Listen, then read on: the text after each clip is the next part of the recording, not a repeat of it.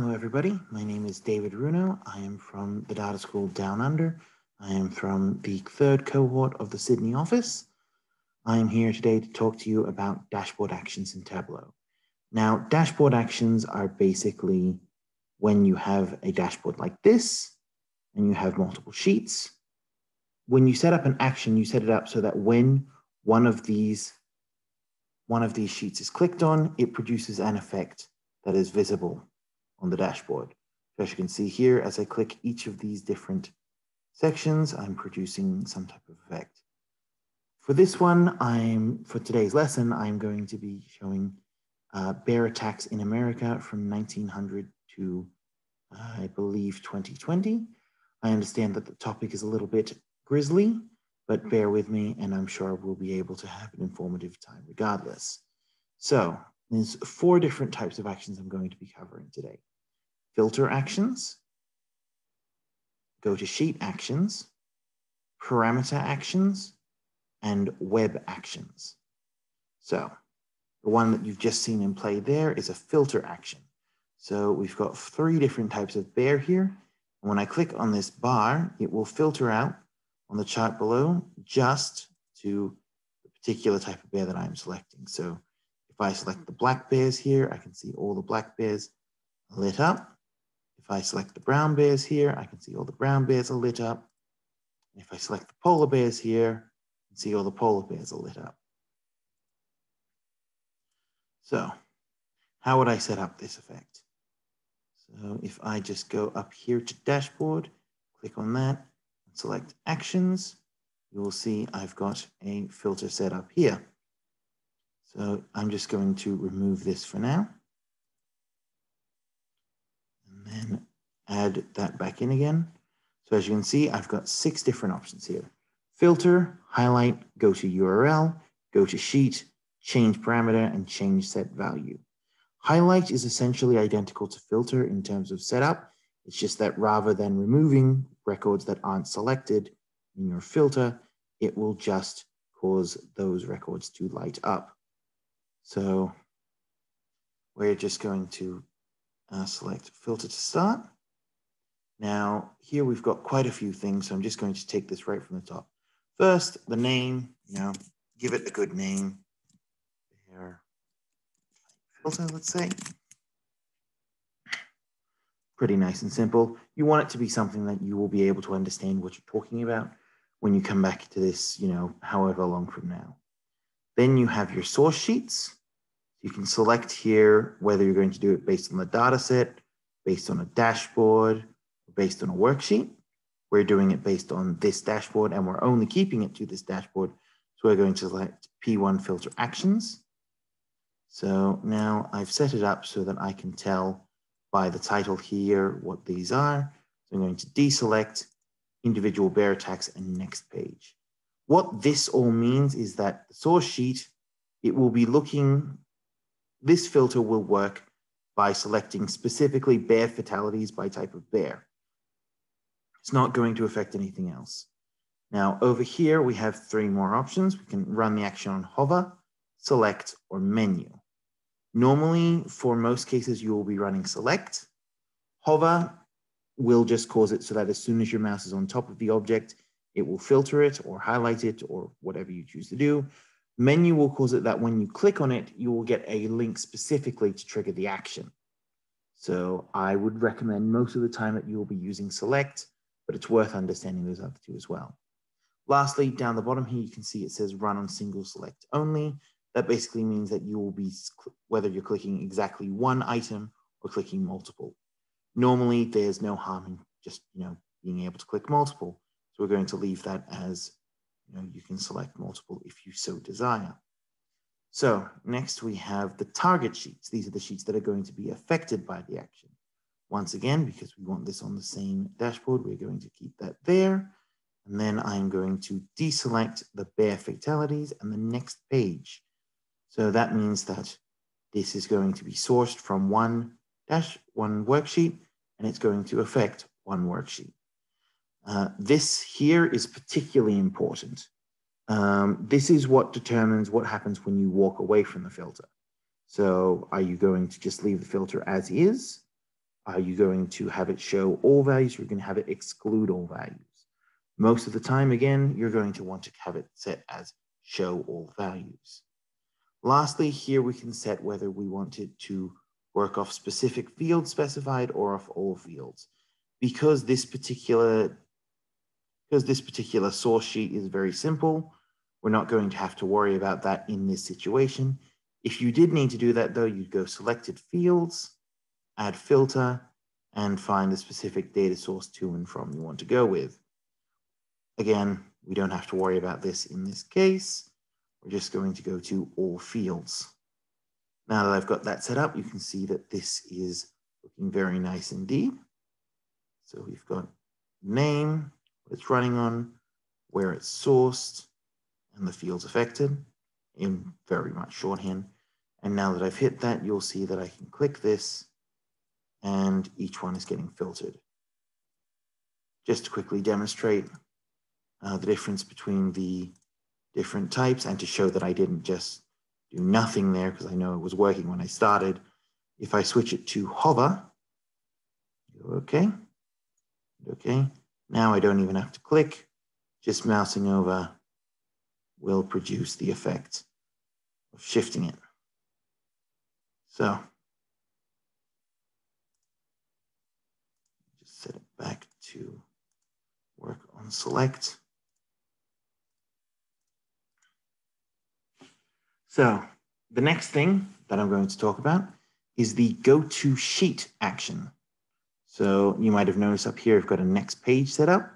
What I'm going to do with this is that I'm going to set it up so that when I click on it, it will take me to the next page. Quite simple. So we're going to open up dashboard again, go down to actions. You can also use control shift D. I just prefer to do it this way. Simple force of habit, maybe. We can go add action, go to sheet. So as you can see, it's a simplified version of what we were having before. Um, we're going to go Bear fatalities protect bear, not necessary. Individual bear attacks, not necessary. Give it a name here. How about go to go to, because next page will be covering it in a little bit more detail. And then we're going to have the target sheet. We're going to have that be page two. I'm to go OK and OK. Now, if I click on this, it takes me right to the next page. So as you can see, we've already used the go to sheet action to get to this page. Um, so what have we got here to see? So now I'm going to show you that you can do both of these things at the very much, the very same time. So we've got here the bear fatalities split by decade. So we've got, you know, five, one, four, 10, building up and up. So as I select one of these here, 1990s, for example, we're going to get all the records of bear attacks in the 1990s.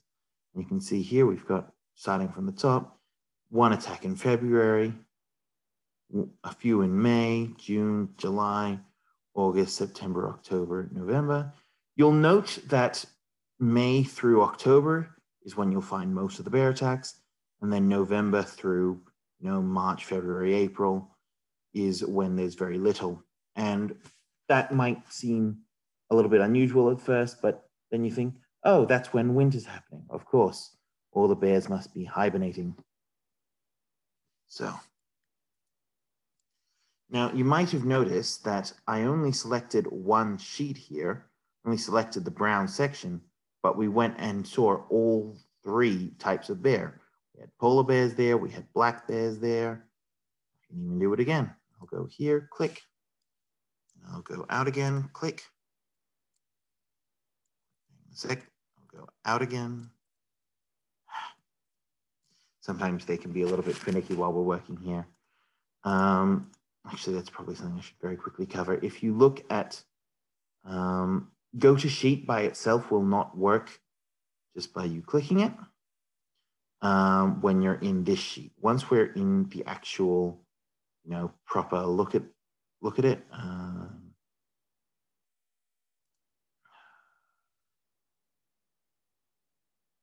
you know, if you're actually looking at this in presentation mode, you will actually see it. Um, it will actually just work on a single click, but on its own, it will not work that way. So just going to select, pull this away. So how is this acting specifically? Just on the decade and not being affected by the color. That's because I've got a slightly different version of the actions working in here. So we'll go here, and as you can see, we've got a lot more things happening right now on this page. So we're going to go here, and what you can see is that we've got um, a, a field source and target field specified here. We've got, you know, the source field is decade, and the target field is also decade. So you can open it up and see that we've set both of them working from the Bears extract, which is the only data source in this case. Now, you could potentially, if there were multiple data sources, specify two different data sources and have it filtering that way.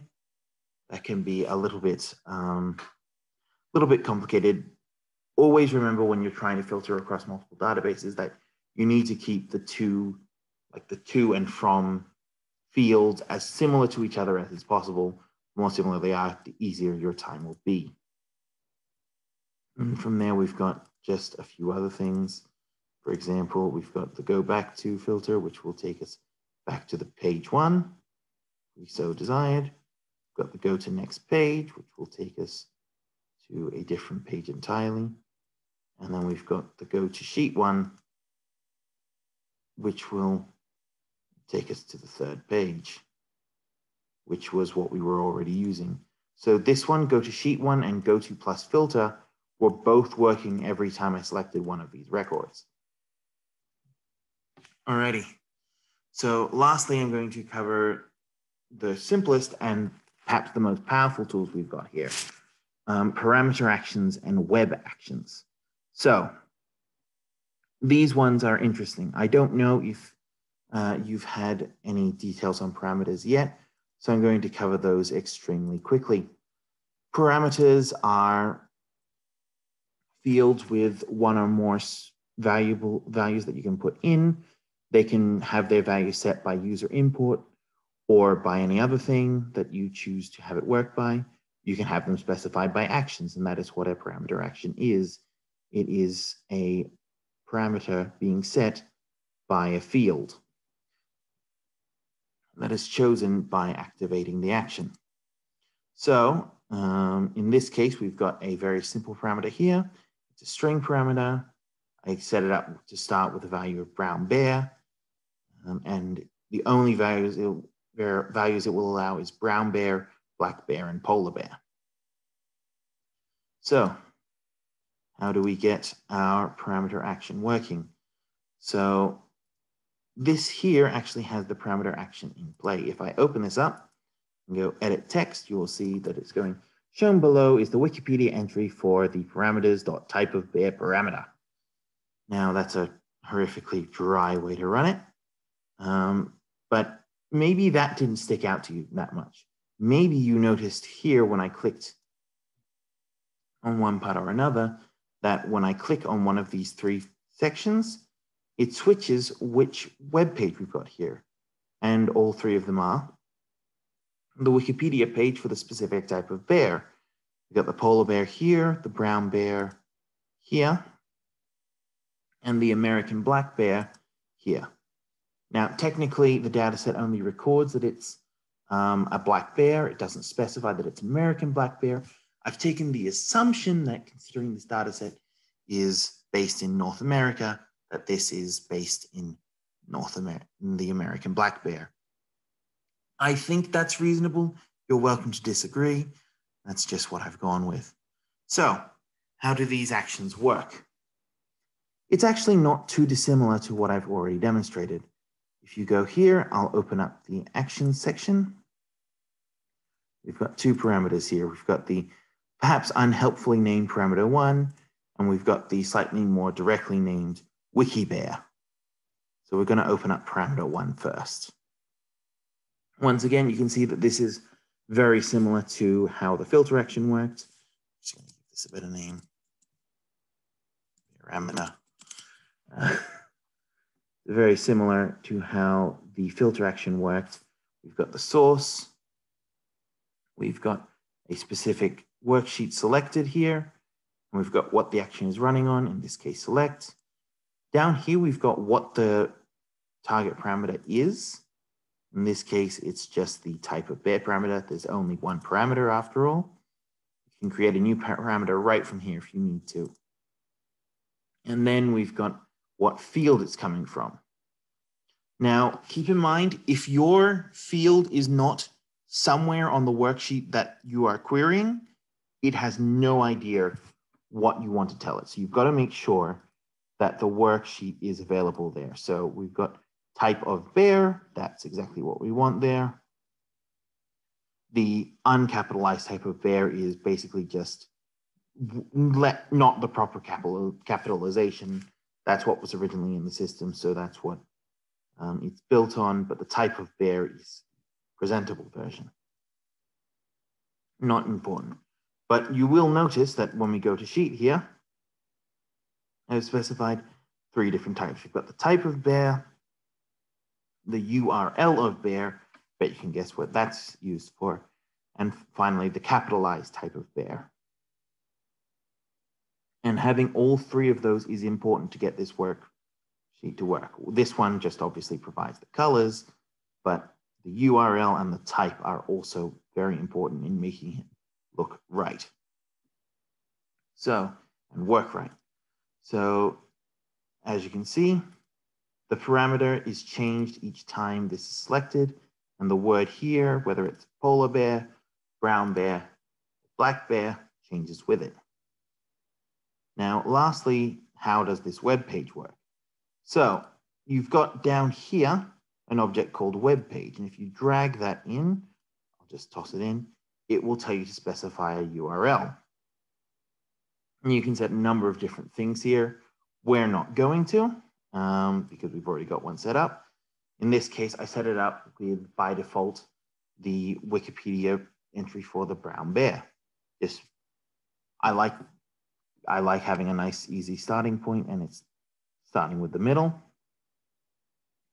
So how does this work? As you've seen, I've got in here the URL of bear field.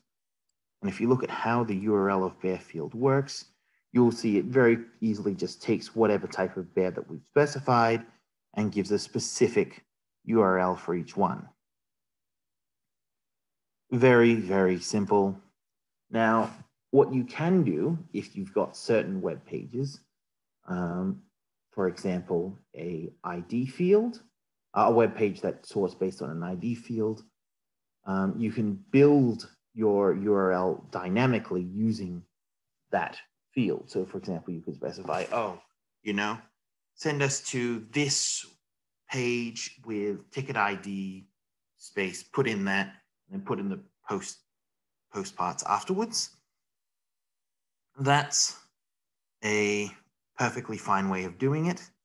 Um, like, in fact, that's very useful in a lot of situations where, for example, you'd want to be able to see a very specific page based on the data that you're querying from. So anyway, you grab one of these web page fields and you put it in there. It's not actually necessary for a go to URL workflow to work, but it is going to be what we're using. So open up your dashboard actions. We'll just look at WikiBear again. So again, this part you're all familiar with by this point, I would hope. We've got the source sheets, dashboard for, bear selection, run action on select. The URL, this is telling it what URL to use. You can specify a full URL in here, or you can specify, like for example, the specific field to query from. We're using the URL of bear field. So, whoop, not two times over though, just the once. That would be a problem. Um, so you can go here and we can test the link. It's open up quite nicely here, you know. Maybe you haven't seen that because that's working, but you can see that it's connected quite successfully. It knows exactly what we're working from here. So then you go, these aren't strictly necessary in this case. Um, you know, that's, don't worry about that for now in short. So then you can set the URL target, much like how you're, you've specified what field you're going to before you can um, specify here how you, what you're actually going to do when you click on it. You can either have it affect a web page object, much like the one here. You can have it open up a new browser tab, or you can have it open up a browser tab only if no web page ob object exists on the dashboard. In this case, we're just going to have it working off this one web page object, hitting OK, hitting OK. That's going to produce the effect of jumping from page to page. Now, if I were to select it to open up a new browser tab instead, action, go to URL, add action, edit action, new browser tab. Okay, okay. Well, I would need to quickly alter how my share is working. So just give me a very quick sec. But if I were to click on one of these now, it will actually go and open up a whole new page here. You can see that. I would recommend using the web page object version when you're working from the actual, when you're doing a educational or simple display version, it's quite nice to embed the web page in. And you can do this on a more detailed level too. For example, say I just wanted to specify the, I just wanted a picture of the animal to pop up when I selected it. I could do that very easily just by finding out what URL this specific image is from and work with and put that up somewhere quite nice. But that's the sort of situation that you would have a web page object for. Now, where a where um, the new browser tab or go to new browser tab version of the web action is useful is in the case of a, let's call it a private matter. This is that I've actually used the um, new browser tab. I'm currently working with the IT support team in MIP. And one thing is that the tickets have a very specific format of their URLs, which involves their ID number. So what I can do is I can set up the URL take the ID number, click on that, and get taken directly to the web page, which allows us to zero in if a ticket looks wrong when I've got it in uh, my reporting system. I sadly can't show you that because this is, you know, IT support. There's some rather delicate things being handled there. So I can't show you any more than my own stories. But regardless, I hope you all have had a good time. Um, I'll make sure that this worksheet is up so that you all can take a look at it on your own time by the time that you actually have this lesson. So with that, uh, thank you all for your time. Um, good luck with your studies.